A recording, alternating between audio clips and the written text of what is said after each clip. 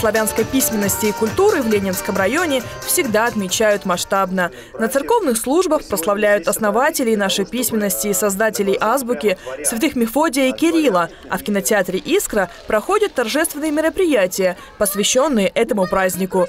Из года в год идейным вдохновителем и организатором является коллектив Центра детского творчества «Импульс». Нынешний год не стал исключением. Традиционно в фойе кинотеатра было организовано более 50 различных творческих мастер-классов, а на сцену выходили народные коллективы. Любите русский язык.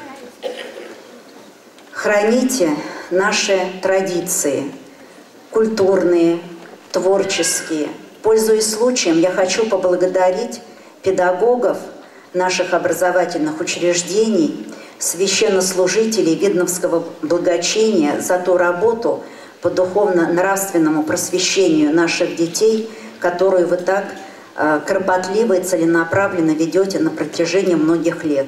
Попадая в такую творческую атмосферу, появляется желание и самому смастерить какую-нибудь затейливую штучку. Наверное, в этом и кроется секрет мастер-классов, чтобы привлечь внимание и заинтересовать человека попробовать себя в чем-то новом. Одни лепят, другие рисуют, а школьница Анастасия Осипова решила поэкспериментировать с плетением. За 20 минут у нее получилось сшить практичную вещь. Эти вещи можно положить на стол и ставить на них горячее. Также, если сделать большой круг, можно сделать из них подушку. Это красивая, очень практичная вещь.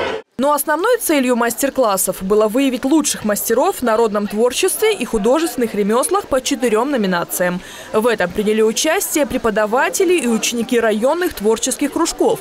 Одна из них – Елизавета Ларина. С детства она мечтала рисовать, и 9 лет назад мечта осуществилась. Девушка пошла в изо-студию «Кисточка». Сейчас перед Лизой другая цель – стать профессиональным художником пойти в институт либо художником, либо архитектором.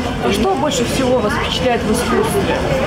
Наверное, это природа и люди. Почему? Не знаю, природа, она такая живописная. Можно что-то срисовать, нарисовать, придумать самим. Мастер-классы по ремеслу развивают моторику, тренируют внимание и терпение, раскрывают творческий потенциал. Особенно они полезны детям. Однажды, попробовав себя в каком-то деле, порой ребенок выбирает для себя на долгие годы. Юлия Погосян, Евгений Петров, Анастасия Нурхонова. Видно ТВ.